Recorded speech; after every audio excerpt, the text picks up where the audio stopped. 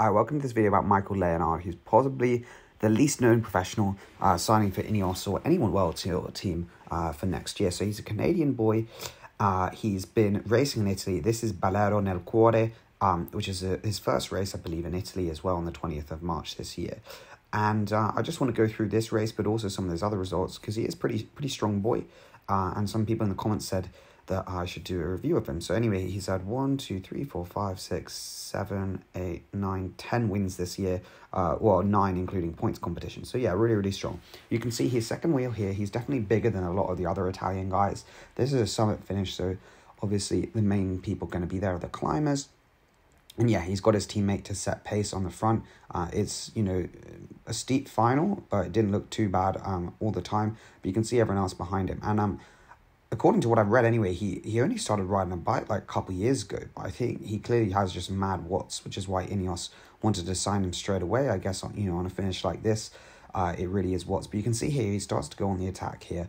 Uh, and the guy behind him um, is following. He's really, really small. And you can see he looks very comfortable, um, to be honest. His technique at the saddle is sort of is rogue. But I guess, you know, if you haven't ridden a bike the whole time, it's a little bit not not perfect, but anyway, you can see he's like here just at the saddle looks very very comfortable um, in terms of like breathing and all the rest of it. Uh, looking around as well, so pretty big awareness of exactly what's going on the race. And you can see he's just upping the pace, upping the pace. And here, this is when he actually upped the paces even more.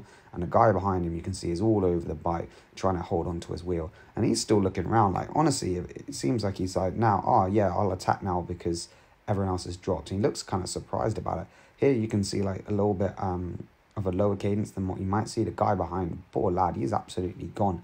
Um, but yeah, Michael Leonard has had some very strong results. Worlds wasn't, you know, the best um, results in the world. He finished 51st in the uh, road race, didn't do the time trial. Um, but yeah, winning, you know, a lot of these junior races, I don't really know much about them, but he wasn't outside the top 10 except Worlds in any of the races he's done this year. So super, super strong. Um, only like 19 years old uh, or 18 years old, turning 19 um, next year.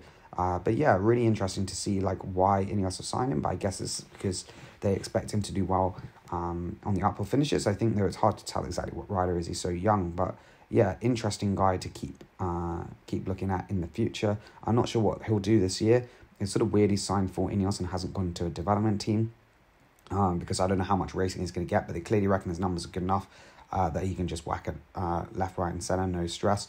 I guess I'll just start him off on the easier races, like the 2.1s that they do, um, and then just see how he goes. I guess it also depends, you know, he doesn't look the smallest of riders, so maybe he'll be more of a time trialist uh, as well as going uphill, like a GC guy, or maybe a pure time trialist, um, or may, you know, maybe someone in um, who is a little bit heavier but can still get up the climbs, no stress. But anyway, I'm just going to show you the rest of this. Um, but anyway, just watching, hope you enjoy.